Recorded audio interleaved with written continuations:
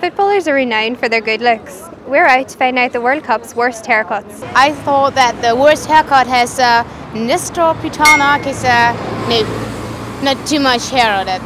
So, yes.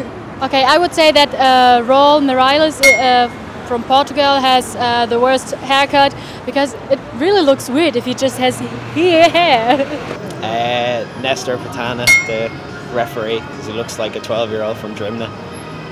He has the short back and sides and then slicked over to the side.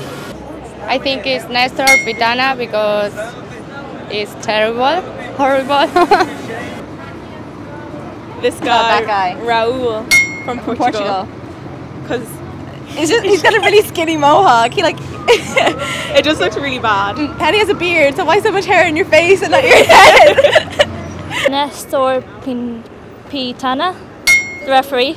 Um, I think it looks it's like it's like slime on it and it's real greasy looking.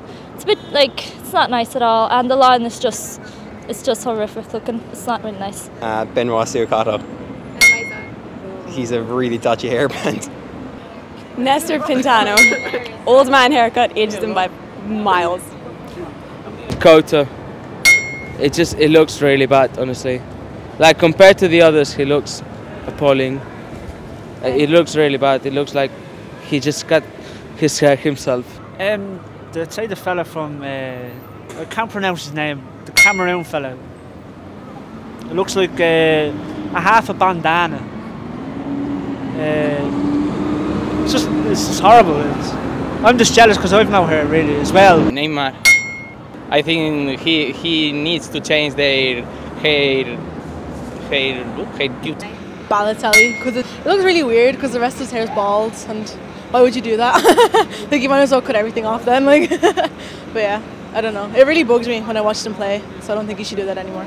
So the public have spoken and referee Nestor Pitana officially has the worst haircut. For independent.ie, I'm Anita McSorley.